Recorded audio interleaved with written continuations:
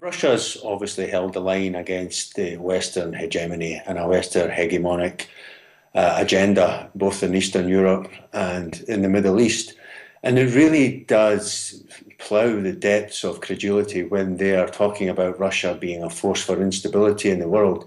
You would think it was Russia responsible for the proliferation of terrorism across the Middle East and by extension the world with the rise of ISIS in recent years. And you would think it was Russia from where the global economic crisis of 2008 emanated, which brought the world to the brink of bankruptcy. So it is really wishful thinking compounded by delusion in this document a document that could have come straight from the 1950s in a Hollywood uh, anti Russian Red Scare movie. The policy being followed by NATO and the EU to economically and militarily isolate Russia and weaken Russia is clearly failing. And there's also a domestic agenda at work here. Uh, right now, certainly in the UK, there's a debate on going on about Britain's failure, the British government's failure to meet its 2% NATO uh, um, obligations with regards to its defence spending, NATO guidelines stipulate that each NATO member state should uh, should try to ensure that uh, they spend two percent of GDP every year on defence.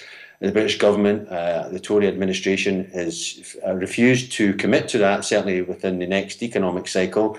And so this is designed, I think, to put pressure on them to fulfil that obligation as stipulated by NATO. So there's a domestic and obviously a clearly a fierce ideological uh, motive behind this document, which no one really can take seriously given its contents. The relations are worse now than they've ever been, and certainly probably not been as bad as this since the height of the Cold War in the 1950s. But these ideologues who occupy uh, Chatham House, they believe that the only policy and the only solution is to uh, heighten the confrontation rather than roll back and do some serious uh, reflecting on the role of the West and their ideology in precipitating the confrontation. We are living in a unipolar world. That unipolarity is now being challenged by Russia and China.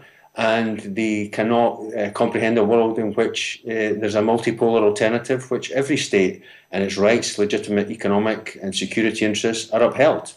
And this is bringing the world to the brink of disaster and more and more chaos as we're seeing uh, both Eastern Europe, uh, in the Middle East, and economically on a global basis.